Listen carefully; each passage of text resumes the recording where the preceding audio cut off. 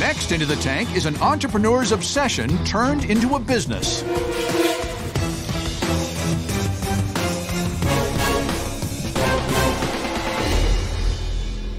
Hey Sharks, my name is Melissa Bartow. I'm from New York City, and I'm seeking $100,000 for 20% of my company, Wanna Date. I had my first date just three years ago during college. And let me tell you, I've had a lot of dates ever since. At least a few every day. Sometimes even more. Sharks, I love dates so much that I created Want a date? a line of date-based spreads that are natural, vegan, and get this, they're totally allergen-free. You see, sharks, dates are my absolute favorite fruit. Tasty little things satisfy all my cravings, power me through my workouts, Damn. Nice. and keep me energized all day long. I love dates so much that I wanted to spread them on everything. And the best part is that my date spreads come in all of your favorite flavors. Chocolate, vanilla, cinnamon, and let's not forget pumpkin spice. And at just 30 calories per serving. Wanna Date is the perfect go-to alternative for any nut butter or syrup out there. So, sharks, no more cheating on your diets. What do you all say? Want a date? On a date? Yep. We'd love to try it. try it. Yes, I know you could all use a little more love in your life, so Absolutely. samples. All right, for Daymond. Here you uh. are. Thank you. That's a big tray of food. Thank you. Do you have just a natural date, or they're all flavored? All flavors. It's a shame you didn't get us enough food. yeah, really. Yeah. Thank you. All right. Thank you, Melissa. You are welcome. Now, Yeah, there's enough food to last a lifetime. Thank you. Wow. Oh, yum. What is this, yogurt base? that is an acai bowl with mixed berries on top and chocolate date spread drizzled. Next So- to that is a bowl hmm. of overnight oats sweetened only with vanilla wanna date, a stack of pumpkin spice wanna date pancakes, and then a date butter and banana sandwich with cinnamon wanna date and a side of cinnamon date spread bacon. So delicious. I like them, but it tastes so sweet. Are you sure it's only um, 30 calories per serving? Dates typically have a lot of calories. Yes, so if you think about it, most jams and jellies are actually 40 or 50. Nut butters are actually 80 to 90 calories.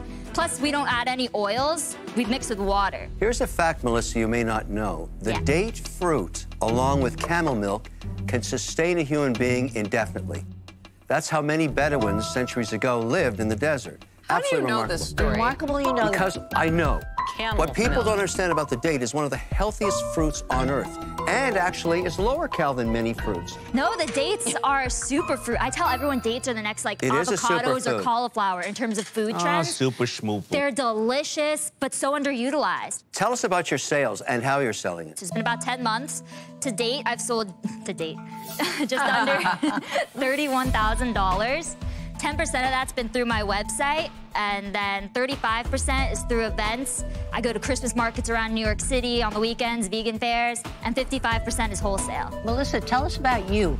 Originally, I'm from just northwest Georgia, a town called Kennesaw, and I just graduated from NYU actually three weeks ago. Congrats. Are you working on this 100% of the time? Because Yes. 31,000 in sales, living in New York City, you know, How do you Yeah. I'm support sure the- yourself? My dad supports me still. So, how much does one jar cost you to make? Uh, right now, it costs me two dollars and forty cents to make Ooh. with the label and all. That's I a sell lot. it. Excuse me. That's a lot. Yes, I can get costs down though to about a dollar seventy or eighty And what do you sell it for? on my website for twelve dollars. $12. Yes. And people are willing to pay $12 a jar? Yes, I've actually never had anyone complain about twelve dollars per Really? jar. Yeah. Did you do any type of market research, though, where you would like reach out to people and ask them, would you buy this? How often would you use it? Things like that. Um, not formally, but also I've learned people have no idea what they do want. You know, Amen. The challenge with that is you're there, right? And you're educating them, right? When I first started, I used to stand out on uh, 125th Street in Harlem, right outside the Apollo, when the Apollo Theater let out. And I got really good responses. They told me what they thought about my T-shirts and my mama, everything, right? um, but then when I went to put it in stores, it didn't move. When nobody was there to tell the story, I got stuck. So I think as a crowded market that I know nothing about, and I think it's gonna be a challenge really just educating people on how badly they need this. So I'm out. Okay. I feel like it's very early for us to know if people want dates or not. It was delicious. Um, I wish you good luck, but I- I'm gonna go well, out. I'm, I hope you change your mind. I'm gonna make dates Main Street. The same way avocados and cauliflower, everything. That's why I chose flavors to lower the inhibitions of cu- customers who have never had dates, heard of dates, don't know the health benefits. But Melissa, why didn't you do just a plain flavor for people who like dates? So I do have actually, I just developed a plain flavor. But why the flavors at all to start? If you're going to turn dates into a superfood, you got to let the star of the show be the star of the show. So where are you know. going with this, I'm, I'm just, I'm disappointed in some respects.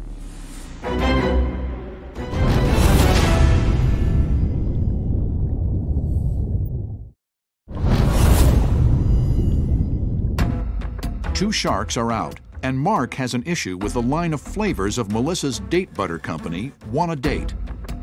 The plain flavor's coming. I know, but would you do just that?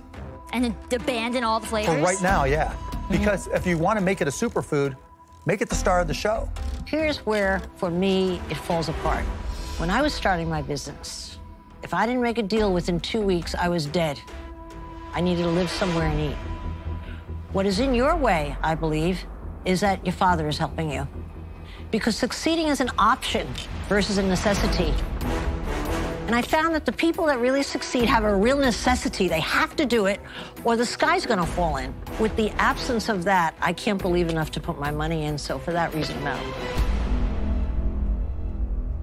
Well, I won't be homeless if this fails, but I do everything on my own. I've I run my web sorry. Like my dad just believes in me, you know, like I'm I'm I've never had anything handed to me in my whole life. I'm not like a rich kid. I don't sleep. I carry cases of this all over New York. I work events. I do them all myself. I, nobody helps me. But take away that security blanket of having your rent paid, and the comparison would be like night and day what you can accomplish. I've seen it over and over again with so many people. Failure is just when you quit. I don't quit, so this won't fail because I will go until it succeeds. Listen, I, I started out and my mother mortgaged the house. And without her mortgaging the home, I couldn't have financed my first couple of shirts. So, I mean, that's Barbara's opinion. You know what, Melissa? I don't agree. I, I understand from an investment perspective, there really there is value when someone's back's against the wall. We've all have faced it, right? But that's like saying, if Barbara's right, that means none of our kids will, can ever do anything on their own. And I can't. I refuse to believe that. Like, I hate asking him for money, and this is the first time I've ever had to. And I'm gonna pay him every single penny back. That's why I work hard every day. Melissa, my problem with your deal is it's too early to be worth half a million bucks. There's a lot that's going to happen before you actually get scale. And I wish you the best, but I'm out. So now there's me and you. Do you have competition? Is there anybody else selling date butter? The closest thing is one that's full of coconut oil, coconut butter. It's ha- 10 times the calories. It has fat, it has cholesterol. I just went vegetarian, so I'm always looking for things that are healthy, healthy for my family. Absolutely. When you walked in, and other than thinking, what the hell is this initially, the idea of a date spread was great because I love dates. But you got to be smaller, cheaper, easier to ship, and you have to make dates just plain. Are you willing to do all that? Absolutely. We can look into other packaging options. Absolutely. Okay, so I'll make you an offer. $100,000, but I want 33%. 33%. Right. Because it's going to take some time, it's going to take some effort, but there you go. That's your offer. You got an offer. What do you want to do? Because I've learned that it never hurts to ask. No. No. Oh my We gosh. answered already. You can counter to it. Go with your gut. This is your business. Just tell Mark Cuban to take a walk.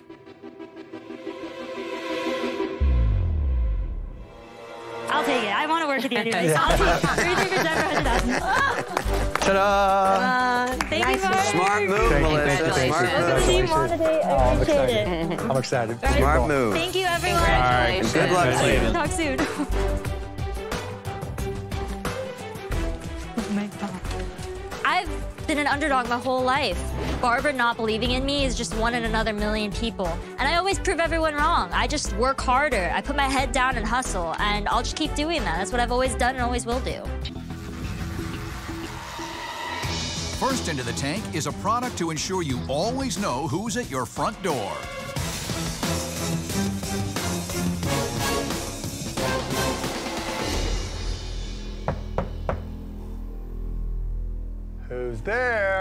It's Jamie. Here to pitch? Who? It's Jamie. Come in.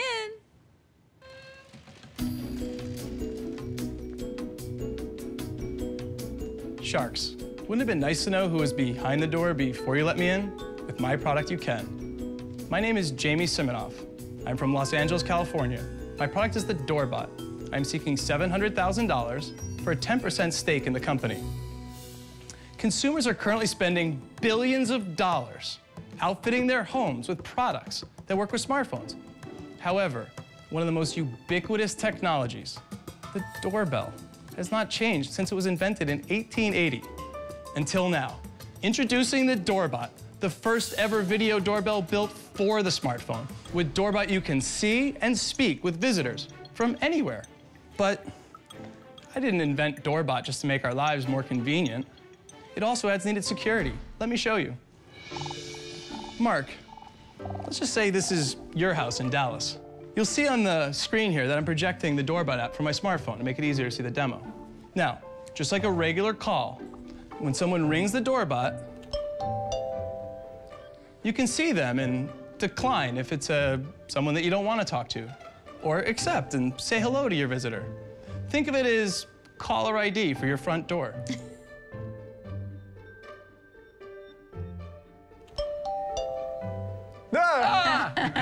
good-looking Doorbot guy.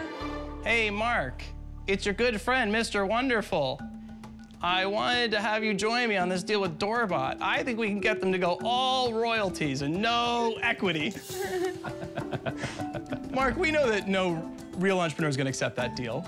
And now you can tell Mr. Wonderful to scram. And the best thing is you can do it without having to be face to face with him. Now, sharks, join me, and the next time you hear, it'll be. Now, who wants to be first to ring my bell? Jamie, what if you hit accept? You then hit what accept, happens? then the light goes blue, and then you can talk to them. So your voice comes out of it. Your voice comes out of it. It's got a microphone and speaker, Like so it's two-way audio, one-way video. If someone came up and said, hmm, eyeball there, can they just take it off? Because all burglars ring the doorbell first. yeah. You know what, though, Mark? That's actually true. Burglars are not usually violent criminals. They want to see if someone's home. They want the opportunity to go into a house that's not that does not have people in it. So it's actually true. People do ring the doorbell. It's very hard to remove. And we also have offered that any customer that has one stolen, we will replace it for free of charge. And how much does each one of these units sell for? $199. What are your costs to make it? Uh, $81.83 is our cost landed in our uh, warehouse in the United States. And you sell it to retailers? So far, we've only sold direct on our own online store. Uh, we are launching with our first retailer in November, uh, which is Staples. We launched nine months ago. We've done, uh, in aggregate, a million dollars in sales so far. Good for you.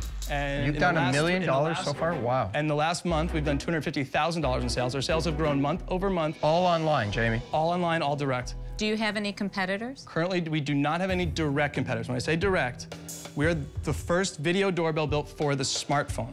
Now, there are other video doorbells out there that go to a, a panel. It's not two-way, so you don't have communication from that. You can just How see who's there, How much does your now competition cost? uh, the lowest price camera would be, you know, 50 to 100 dollars, up to thousands of dollars for some of these systems. But we're not trying to compete with the hundred thousand dollar systems that integrate cameras and everything in your home. That's that, that to me is a totally different market. What we're trying to do is disrupt that market to give that to everybody, the nor- to give it to my wife. Who's at home, who's in the bedroom with my five-year-old. I'm away, and at 8 o'clock at night and it's dark out, someone knocks on the door. I like the product, but are there bigger solutions that can come in and kind of push this out the door? This category will exist. I mean, the doorbell will stay there. It doesn't get trumped by See, technology. I It will think there's, drive a that change. there's a thousand different ways to alert. What business is not going to get replaced by future technology? But there- here's the it's, problem. It's about being able to be nimble and actually Amen. be part of that change. I'm going to jump in here. I think that you have potential to do a lot more with this, but I'm not connecting to that this does enough at this time to distinguish itself as different from what else is out there on the market for the higher price point. And so for that reason, I'm out. Okay. We're not comparing ourselves to a, a, a cheap video doorbell that has a little tiny. No one's know, arguing panel. the quality of the product. I like it. I think you're going to do great with it. But I've got to be able to say, you know what, when I jump in, I've got to add enough value that this company, instead of being worth 7 million, can be worth 80 million, 90 million. I just don't see that progression. And for that reason, I'm out.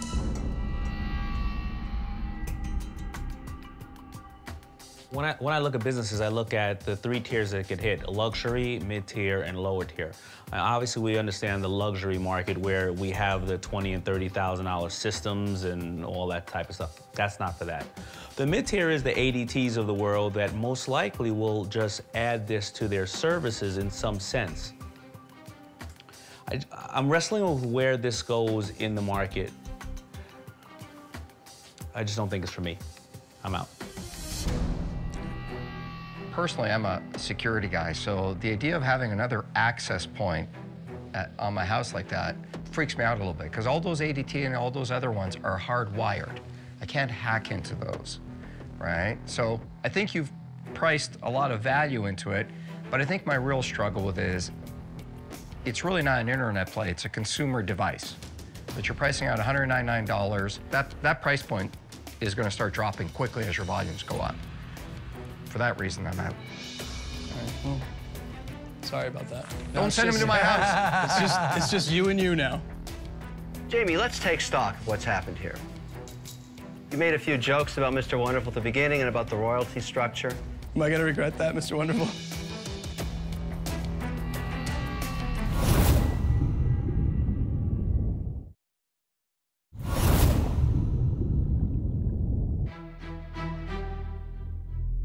Four sharks are out.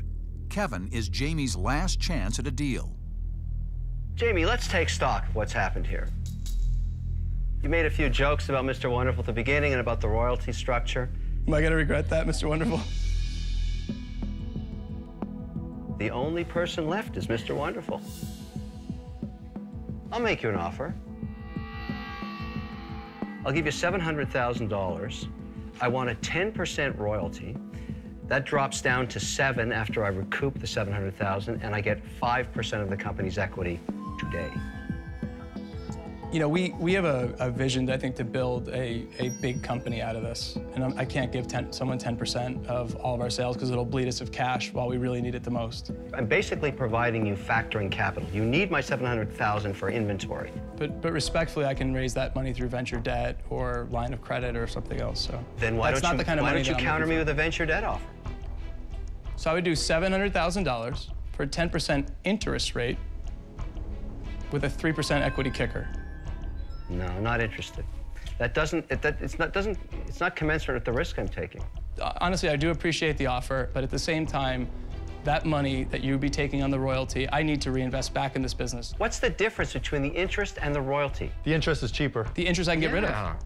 You I can pay get- you back. Oh, so you don't like the, the royalty in perpetuity aspect? Absolutely. But I took the risk up front. I believed in you, the only shark I might add that did. 700,000 is a lot of money at It the is a lot of money. Absolutely, it's, it's a lot of money. Okay, Jamie, it's that moment when I say you're dead to me. Because you don't want to take my offer. I made you a very valid offer, I think, under the circumstances. Respectfully, Mr. Wonderful, we're gonna decline. Go kick some ass, Jamie. Thank you Okay. very Good much. luck, Shark. Jamie. Yeah, good luck. Thanks, Sharks. Kevin, he was uh, he was wavering. There was a moment where he actually considered it. I would have done that deal. Whatever happened to peeking through the window and saying, go away? Mr. Wonderful gave us an offer for just royalties on the company, and I don't believe you can build a big company having one person take 10% of the sales for life. First into the Shark Tank is Aaron Krause, who believes his product will make everyday cleaning easier.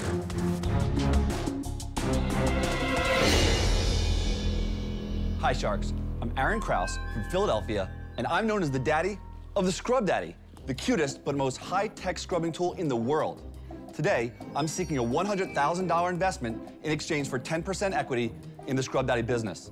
It's the greatest kitchen scrubbing tool you ever used because Scrub that it completely changes its texture by just adjusting your water temperature. Let me show you how that works. Here I've got some hot water, here I've got some cold water. When I immerse the Scrub that is in the hot and cold water, a complete transformation occurs. Now, to show you that, I've got 10 pound weights. Here, under the 10 pounds, it's soft and compressible, and that's like a sponge. That's for your gentle scrubbing applications. But here, check that out. It's hard and firm. That's gonna be for heavy duty scrubbing applications. We burned on browning gravy, tomato sauce, cheese, and mustard onto a glass stovetop and a stainless steel pan. I'm gonna take the scrub daddy, and you're gonna see it's just gonna attack right into that burned on mess, scrubbing it right off. And remember, I'm just using water here. There's no chemicals at all, and it's gonna cut right through that. It won't scratch any of your surfaces, but it will clean them beautifully. Now, Scrub Daddy is not really smiling anymore, so I'm gonna put him here in the warm water, and in just a couple seconds, voila, he's back to bright, fresh, and clean every time. Sharks, that's not just another smiling face. You put it on your hand, you can get to the bottom and clean the sides in one move. And that smiling mouth, that cleans spoons, knives, forks, spatulas, even large serving spoons on both sides at the same time. Sharks, with your help, Scrub Daddy will be scrubbing and smiling in every kitchen in the world. Woo! Wow. Wow. Scrub Daddy. I never witnessed a live infomercial. That was fantastic. that was incredible. Do you have samples? I do. Where are you selling this now? Thank you. Well, currently, we have it in five supermarkets in the Philadelphia area. We also sell it on our website. I've been on QVC three times over about three months. And how'd it go? Fantastic. They've invited me back over and over. And every time I go on, they reorder 30% more than the last time. So Scrub Daddy is humming. And what were your total sales? QVC, wholesale? Just north of $100,000. Only in four months. Do you have a patent on this? I actually have a patent. I have two more pending. We have the trademark. We have domain names. Okay, Aaron. What do you need the $100,000 for? What I want to do is set up an independent manufacturing facility with automated equipment. Why do you need to go into your own facility? The biggest problem is I'm on their time schedule. Are you saying that you could be making more revenue if you were 24-7 making Scrub Daddies? The way QVC is going, and we're just about to launch in a whole bunch of stores, we're going to need that capacity. And I have 18 years experience running a manufacturing plant that runs 24 hours a day. I know exactly what I need to do to make this thing really efficient. And I'm looking to get a strategic partner who can open this up into the retail stores. I'm only in five supermarkets. That's it. What's your cost? The cost to make one's about a dollar. What are you selling them for? About $2.80. Wholesale? Wholesale. This needs to be in every supermarket, drugstore, Walgreens, It's so CVS. expensive. Mrs. Slabinski goes to the store and picks this off the shelf and says, hey, it's a piece of foam with a smiley face on it. It costs two cents to make in China. That's what she's thinking. Because a Brillo pad, which is traditional product, is what? A 20, 20% You're of the comparing it to the lowest end of the lowest end. You take it up to the highest end. Talk about the, the, the ones like Dobie pads or other pads out there that are, you know, brand Scrub names. Daddy, I, I think you've done a great job today, but I don't know if it's going to work in retail. I don't, I don't buy into that vision. Just in the packaging, I just don't know if I see Rob- the Robert, difference. I- it doesn't sell on a shelf, correct. But if you put it in display shippers, which we built, these beautiful cardboard display shippers, and it communicates the message to You're talking end the caps. You're gonna have to pay for those things. It's Well- hard to get them, even if you pay for them. Great job today, but I, I don't see the retail vision. I'm out. I understand. I like the product. I think you- you're doing great things. You're doing it the exact right way. But when I hear QVC, no disrespect to Lori, when a company's sales are completely dependent on QVC, that's a disaster waiting to happen. I've got 3,000 stores lined up right now.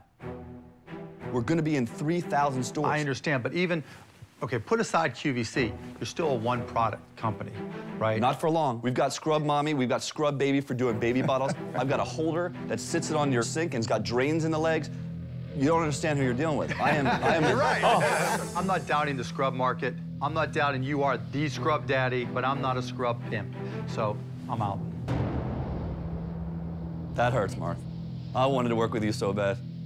Our QVC does over 8 billion in sales a year, and I've done over 500 million myself. Yes, you have, and you rotate products in and out of there, and once those products are out, they're out. How about this deal? 100,000 for 50%.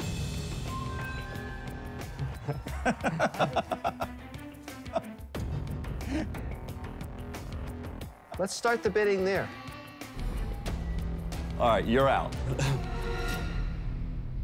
You know, I'm somebody who could paint any picture, and I think that Lori is a vicious, backstabbing shark. That's all true.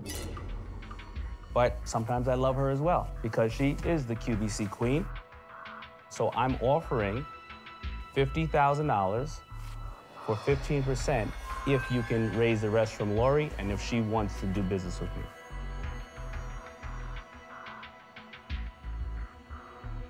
Well, here's the thing.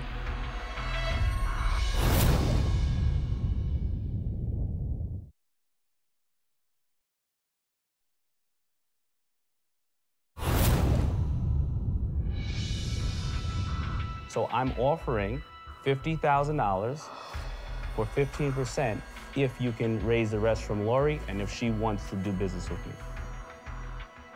Well, here's the thing. You've heard me say before, I can tell instantly if it's a hero or a zero. And I think what you've got here is a hero. No offense, Daymond. I don't need you. You don't? My offer is $100,000 for 30%. I will get you into infomercial right away, and I'm pretty confident that we could get this into all retail stores across the country within literally weeks. I'll tell you what I'll do for you. I'll give you $100,000. We'll never agree on what percentage I should get. I'm going to change the model completely. You're going to keep the whole company. But I want to be your financier. I want you to give me 50 cents on every unit sold until I get the 100K back. Then it drops to 10 cents in perpetuity. He just wants to increase your cost of goods sold by 50%. Nothing, right? Why give up 30% of your company? Just to sweeten the pot a little bit, I'm gonna give you $150,000 for 25%. Whoa. What are you gonna do? I'm changing my offer, actually. $100,000, but for 25%. The experience, the connections, everything that I have, it will be successful. I am partnered with the best of them. Why give up any part of Scrub Daddy? Think of the relationship you have with this sponge. You're selling this thing out, and it's gonna cry. It won't be happy anymore. QVC, infomercial, and into every single retailer worldwide. That's the power of what we can do just by one infomercial spot. I can get you there. He wait, knows wait, that I'm not already. done. We've not heard that already. We've heard that already. What, And I, I want the answer to one question, all right? Do you think 25% of the equity in your company is worth more or less than 10 cents a unit in perpetuity? And he's This all is- talk. Where's he going to take you? It doesn't matter. Ask It does matter. Because you Connections can take thir- you, can everything. take, you keep 25% of this business, which may sell 10 million of these, and you keep it all for yourself. But you're going to be keeping nothing because he doesn't know how to get you this mean out you there You haven't had any success? You're an idiot. You don't know what to do. I know what to do. Exactly. just did a half a billion dollar deal with Walmart. Half a billion. But that doesn't So mean anything. What understand product retail. is it? Okay, I, I'd like to Wait review a the, second. the, the Let the offers. They keep sponge changing. speak. And it's saying, Lori. go with Kevin. Aaron, they're like children up here. It's awful. Let's recap. Yeah, let's recap, are. please. 150,000 for 25%. Okay. From Daymond. Kevin. is- $100,000 for no percent and a tiny tithe of 10 cents. You keep all the equity. Lori is offering you a 100,000 for 25%. I offered 150 last time. Whoa, hang I, didn't- on. I didn't hear You said that. 100, Lori. Oh, well, I changed my mind. 150,000 for 25%. I'll make you a millionaire within a year. So mine just went to 175. Whoa! Is up to 175? Yeah. Mine just went to two. Whoa! The good news is, I just made you an extra 100,000. I'm out. I wanted to stick it to her. Ouch. Wow. I'll drop the 50 cents down to 25 cents until the 100K is recovered, and then go to 10 cents. Will you go to five cents? Seven and a half, it's a deal. Okay, Aaron, you've got two offers on the table. What are you gonna do? You have to make up your mind right now. You don't see the benefit of having me as a partner. I never said that. You need to tell me right now whether you're going with me or not, or I'm out. I'm here for you. I think your deal is awesome. Um, the equity amount is is too much. Would you consider coming down to 20?